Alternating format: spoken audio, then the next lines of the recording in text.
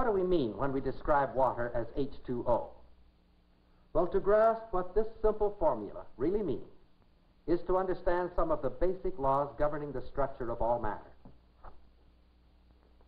Electrolysis apparatus will help us understand why the chemist has called water H2O.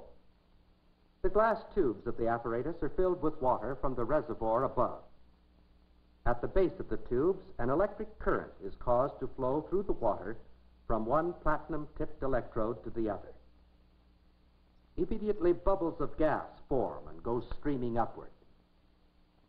Graduated scales on the tubes indicate the proportion in which these gases are released. On one tube, we read 20. On the other, 10.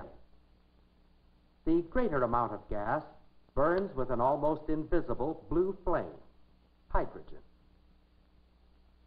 The other gas causes a glowing splint to burst into flame.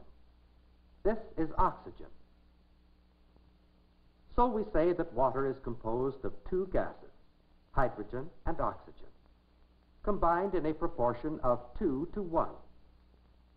Two particles called atoms of hydrogen are combined with one atom of oxygen to form a molecule of water, H2O.